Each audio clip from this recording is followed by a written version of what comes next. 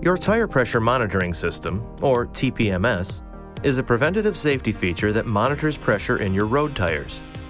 If tire pressure gets low, you'll hear an audible chime and the TPMS light will appear in your instrument cluster. This means one or more of your tires are underinflated and need to be inflated to the proper tire pressure.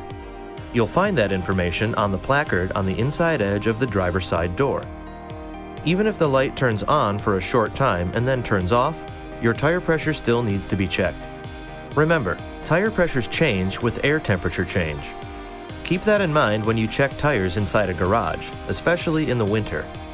Tire pressure may increase from heat during operation.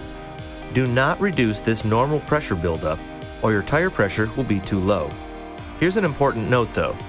Do not try to use the TPMS warning light as a tire pressure gauge, as it does not automatically turn off when proper pressure is returned to the tire. Once your tires are properly inflated, you might need to drive a bit to reset the system.